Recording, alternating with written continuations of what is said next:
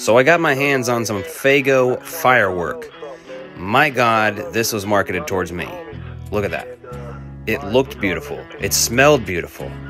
And it tasted just like a melted fucking carbonated bomb pop. It was delicious. Overall, yeah, I like it.